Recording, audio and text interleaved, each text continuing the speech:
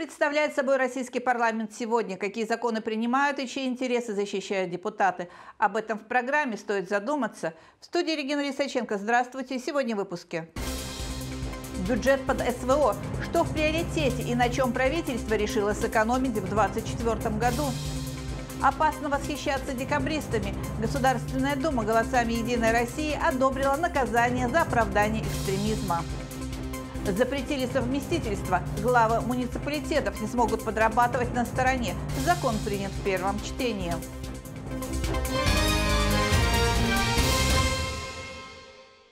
Правительство в пятницу 29 сентября внесло в Государственную Думу проект федерального бюджета на следующие три года. Главный финансовый документ сверстан, исходя из прогноза ежегодного роста экономики свыше 2%. Что касается доходов и расходов, то в следующем году ожидается их рекордный рост. План такой. Доходы казны 35 триллионов рублей, а расходы 36,5 триллионов. В то же время впервые за 30 лет на оборону решено потратить треть казны. Документ в первом чтении Дума намерена рассмотреть на пленарном заседании 26 октября.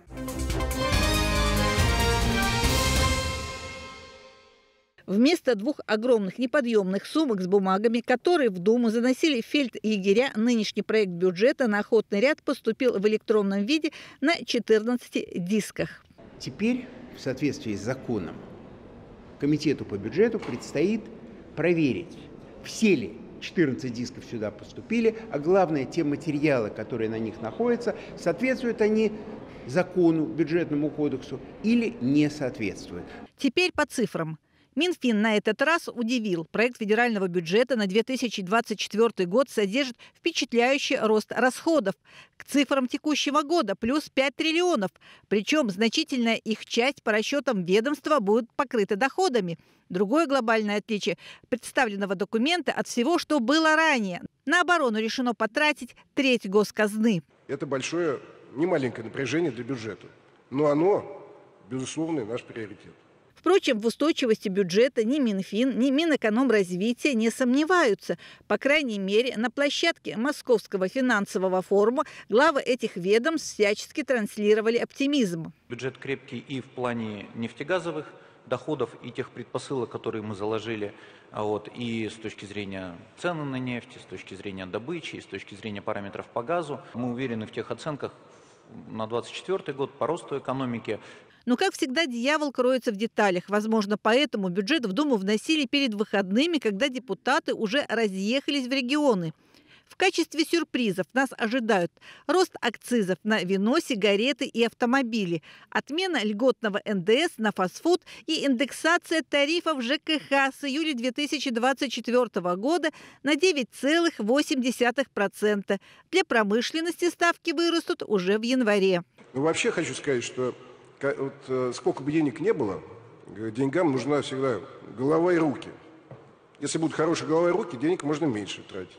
С 2024 года запускается вновь бюджетное правило. Границу отсечения решено установить на уровне 60 долларов за баррель нефти. За три года планируется поднакопить жирок в 3 триллиона рублей.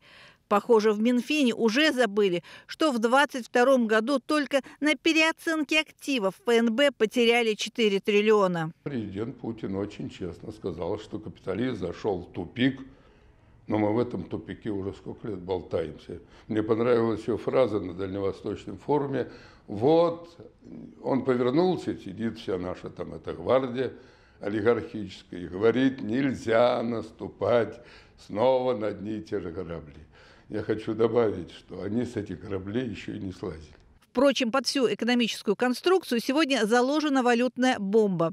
До сих пор нет определенности по инфляции, которая растет вслед за ценами на топливо.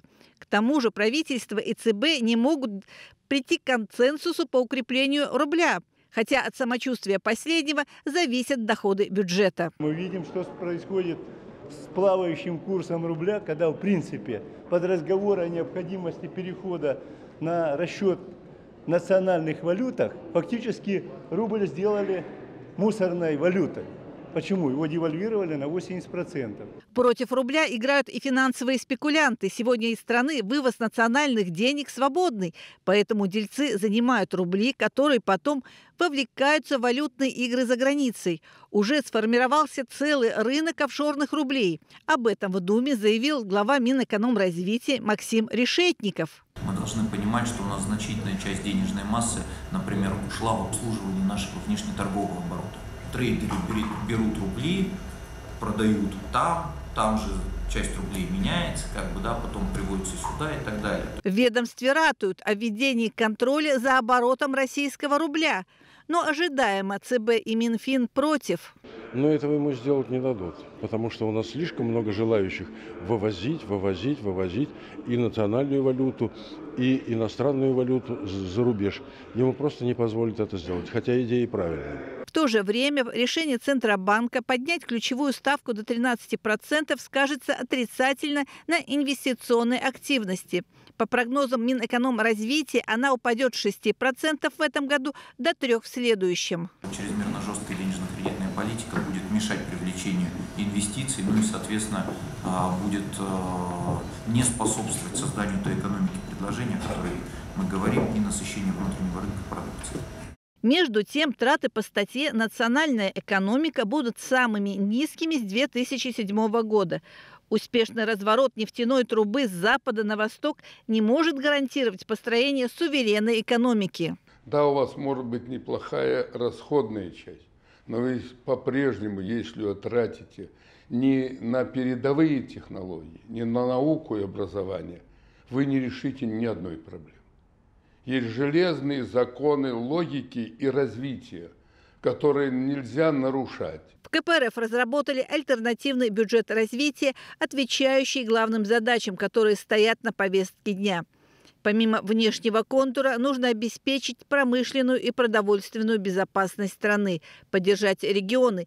Последние, как в трясине, увязают в долгах. Особое внимание государства требует образования и здравоохранения. Стране нужна и справедливая налоговая политика. Богатые должны платить больше.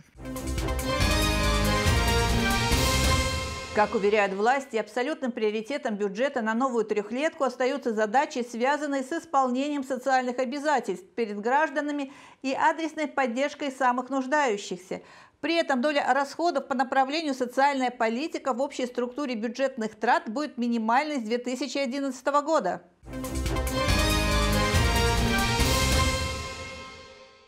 На финансирование социальных обязательств в будущем году правительство резервирует порядка 8 триллионов рублей. Продолжатся выплаты единого пособия для семей с детьми и материнского капитала. Параллельно с проектом бюджета в Думу внесен и правительственный законопроект об индексации МРОД. У нас прожиточный минимум 16, 16 242 рубля. Ну, попробуйте прожить на них. Да, президент принял решение на 18% поднять это 3000 примерно, значит будет 19 200.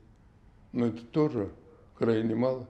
С нового года пенсионное содержание вырастет на 7,5%. Повышение затронет примерно 32 миллиона российских граждан старшего возраста, за исключением работающих пенсионеров. В пользу такого решения одними из первых выступили думские медведи. Я тоже пенсионер работающий, как и те, кто эту тему поднимает. Нам что, надо поднимать пенсию? Мне нужно поднимать пенсию? Стыдно даже говорить на эту тему. Между тем, большинство продуктов от куриного мяса до овощей, которые за лето подорожали на 30 и более процентов, относятся к социально значимым товарам. Мы получили урожай 158 миллионов, больше, чем по тонне на человека. Никакой проблемы не составляло, чтобы наше правительство закупило у крестьянина по твердой хорошей цене условно 15 тысяч рублей за тонну и по своим сетям продала. И тогда бы все сети остальные снизили вам цену. А из хлеба можно вырасти, э, получить 250 видов продовольствия. Я не понимаю, почему это не закладывается в бюджет. 12 миллиардов сэкономит на сокращении количества ежемесячных выплат на третьего и последующих детей. Это означает, что многодетных семей в России не прибавится. Мы единственная в мире страна, которая продолжает терять население. Чтобы не терять население, надо прежде всего хорошо учить, лечить и кормить. Чтобы хорошо кормить, надо, чтобы вы получали приличную пенсию, зарплату и стипендию.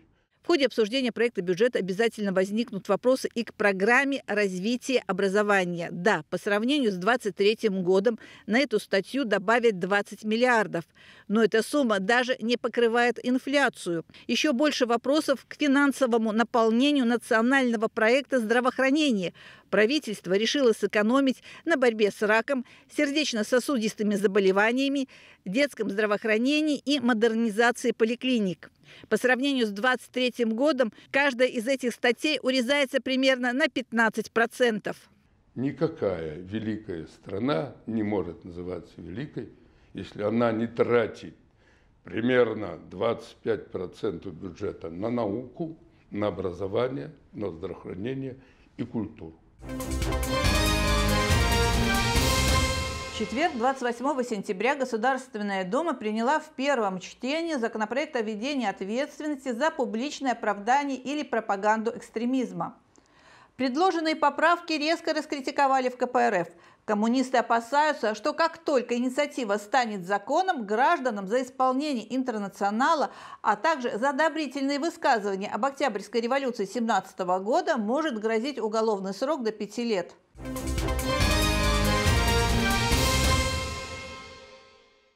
Госдума приняла уже ряд законов о противодействии экстремизму, в том числе и расширила количество деяний, которые относятся к преступной деятельности. Но депутаты вдруг в российском законодательстве обнаружили пробел. В связи с этим мы предлагаем дополнить диспозицию этой статьи объективной стороны этого преступления такими действиями, как публичное оправдание экстремизма и пропаганду экстремизма. В базовом законе понятие экстремизма включает целых 13 определений. Поэтому депутаты от оппозиции никак не могли понять, за что будут сажать, а за что нет. И сколько миллионов россиян могут потенциально стать фигурантами уголовных дел. В России принято крайне расширительное понятие экстремистской деятельности. В частности, первым пунктом значится насильственное изменение конституционного строя. В таком случае все, кто положительно выскажется, например, о декабристах, рискуют попасть под закон.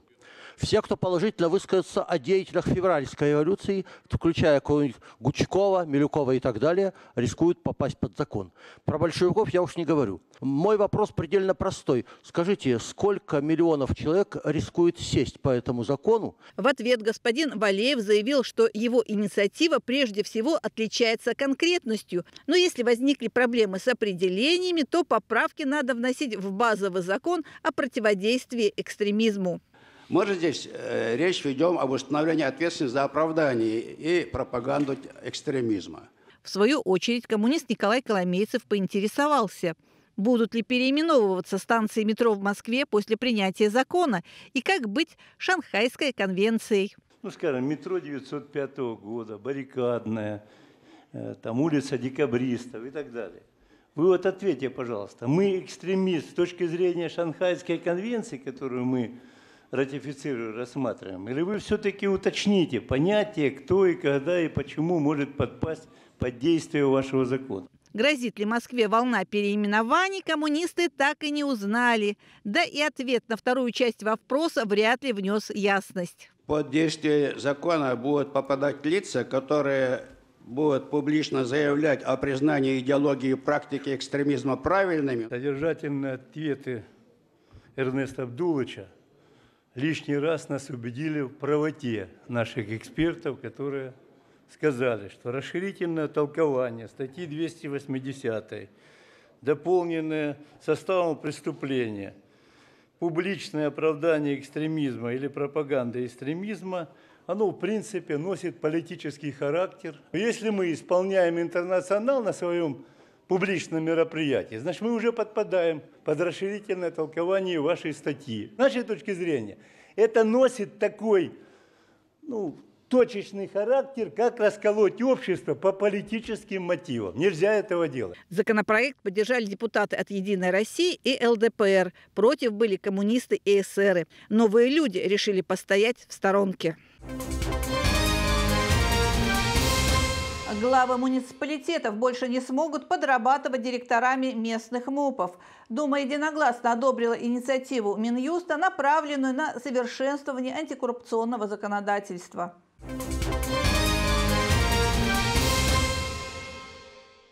Сегодня по российскому законодательству главам муниципалитетов, работающим на непостоянной основе, разрешается возглавлять местные МУПы.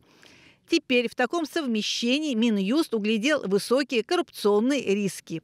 Законопроект напрямую затронет интересы 189 человек. Законопроект разработан во исполнение национального плана противодействия коррупции. Им предлагается дополнить федеральный закон о противодействии коррупции нормой, устанавливающей запрет на совмещение должности главы муниципального образования, осуществляющего свои полномочия на непостоянной основе, с другими должностями в, органы, в органе местного самоуправления этого муниципального образования, а также с должностью руководителя муниципального учреждения. Зато в логике Минюста коррупционные риски отсутствуют, если местный совет будет возглавлять владелец некого частного предприятия. Для понимания, вот если глава муниципального образования, который работает на непостоянной основе, является директором муниципального, э, условной муниципальной котельной, то это вроде как коррупция. А если он является собственником этой муниципальной котельной? Ну, если он является собственником, и у него соответствующими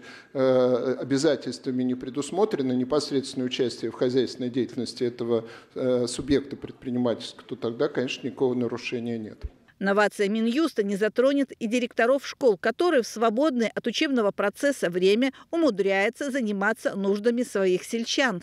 Мы не можем ставить этих опытных хозяйств, э, людей, опытных хозяйственников, ответственных, которые выполняют свои должности на непостоянной основе перед выбором могут ли они заниматься дальше этой деятельностью или не могут. Согласно данным, представленным в Минюст, из 19 тысяч глав муниципальных образований более 3 тысяч человек работают не на постоянной основе.